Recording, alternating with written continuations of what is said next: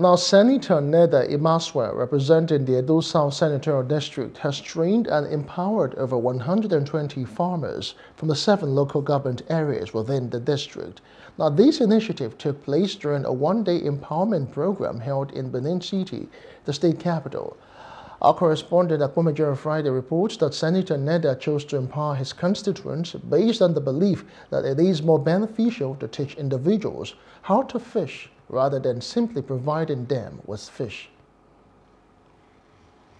We speak about the economic realities of today, where a family cannot put, the, uh, put food on the table, and also looking at the fact that it's better to teach a man how to, how to fish than to keep giving that man fish.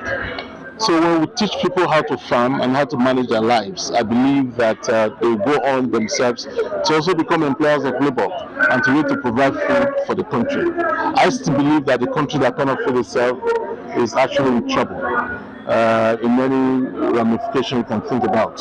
And so this is my motivation and to also help individuals to get up their feet.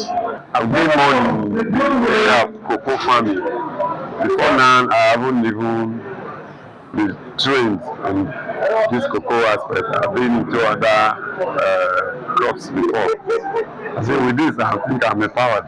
This is my this is my senator. It's a way to do for everybody today. Everybody is very happy because God will raise this man up in Jesus' name. We can't really thank our senator enough for this program he has organized.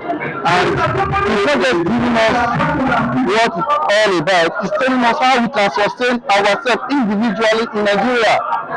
Because having this knowledge has gone a long way to impact meaningfully in our lives if being properly harnessed in this country.